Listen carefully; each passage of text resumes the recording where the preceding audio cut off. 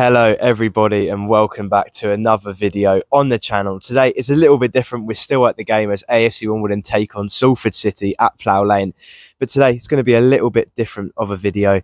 Um, we're in hospitality. My um, family's business, mostly my dad's business, but family's business is the program sponsor for today's game against Salford. So I'm going to take you through what it's like to be in hospitality at AFC Wimbledon um, what's in store. The rooms are in a box on the halfway line, which is just brilliant. You're going to get a really good view of the ground.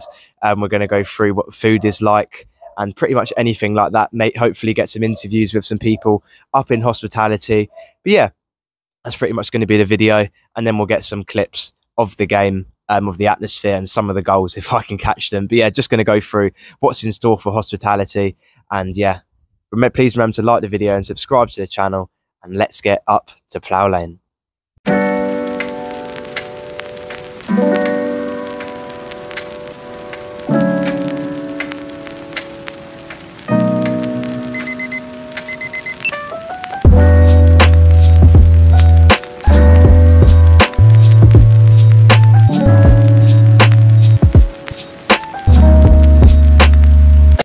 When we arrived in hospitality, we were shown up, given our wristbands, and those are just the amount of options that you can have in hospitality. So many boxes, lounges. We were in box five, which I show here, a really massive space. I believe we had around 20, 23 people in the room, so many seats, a TV, and so much, so many pictures of Wimbledon memories from past, present, um, we had a picture of Jack Currie, Vinnie Jones, Ayoub Assal, the greatest story in football. It just shows you how special Wimbledon is, um, and the view of Plough Lane was absolutely incredible. Um, probably the best view um, of Plough Lane. If, if you want to have the perfect view of the game, this is where you want to be on the halfway line in the second tier in hospitality.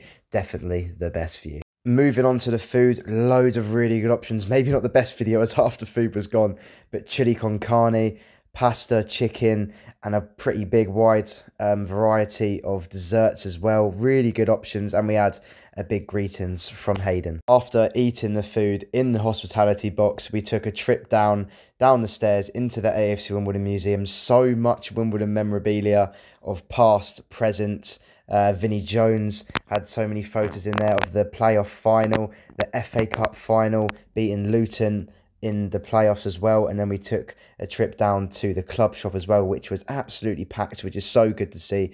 Went back up to hospitality, looked at the lineups, a really, really, really positive lineup there. And I'm so glad that Wimbledon got the win.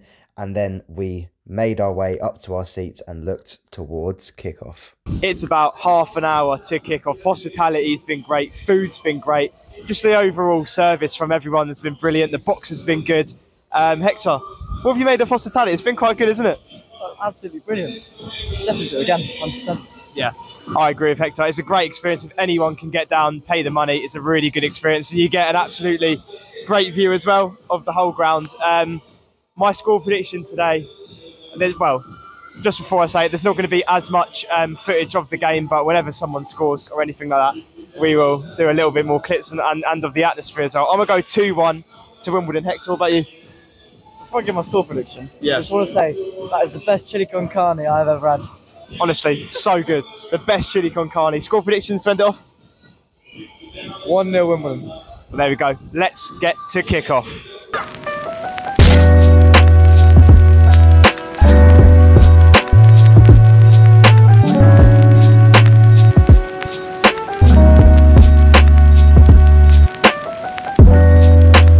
And now it was time for the AFC Wimbledon and Salford City players to walk out of the tunnel for the clash at Plough Lane of AFC Wimbledon versus Salford City.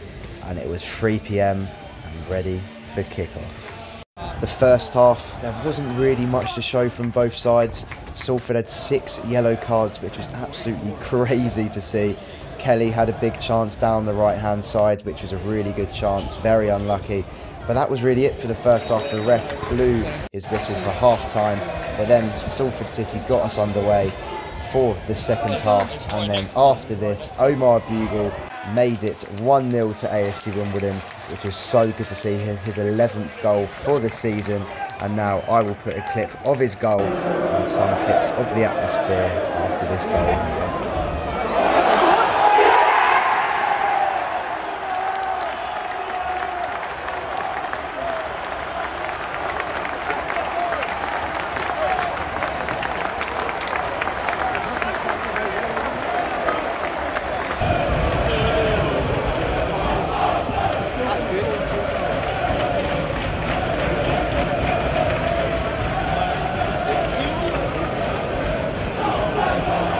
Think by this video it shows that Carl Robinson did not get a very positive reception um, back at Plough Lane as manager of Salford City. Used to be a franchise manager back in the day. But that was it. AFC Wimbledon beat Salford City 1 0, puts us five points away from the playoffs.